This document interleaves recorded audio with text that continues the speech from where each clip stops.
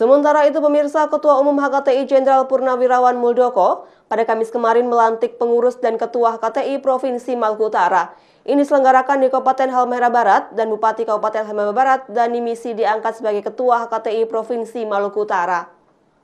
Bupati Halmahera Barat dan Misi resmi menjadi Ketua Dewan Pimpinan Daerah Himpunan Kerukunan Tani Indonesia Provinsi Maluku Utara. Acara pelantikan yang berlangsung di Kabupaten Halmahera Barat ini dihadiri oleh para petani dan para stakeholder. Acara yang digelar di area perkebunan jagung di Desa Kurapasai, Halmahera Barat berlangsung menarik. Jenderal Purnawirawan Muldoko selaku Ketua Umum Himpunan Kerukunan Tani Indonesia hadir untuk melantik pengurus HKTI dan sekaligus melantik Ketua Dewan Pimpinan Daerah HKTI Provinsi Maluku Utara.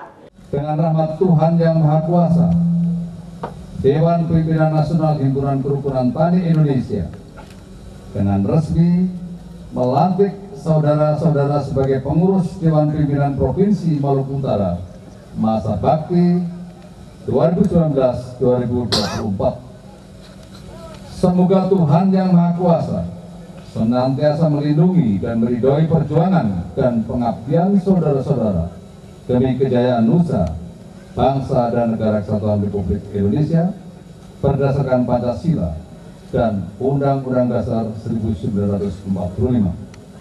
Selamat berkarya. Kepada awak media Muldoko mengatakan, dengan dilantiknya Ketua Dewan Pimpinan Daerah Himpunan Kerukunan Tani Indonesia, Provinsi Maluku Utara bisa memberi kontribusi swasembada pangan nasional. Himpunan Kerukunan Tani Indonesia melantik saudara saya, Bapak Bupati Halmahera Barat, Bapak Dede Amesi.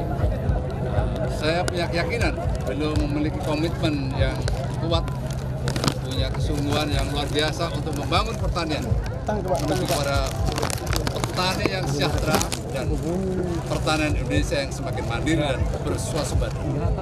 Saya yakin di bawah kepemimpinan beliau, Halmahera Barat dan Maluku Utara akan semakin baik di bidang pertanian. Dan...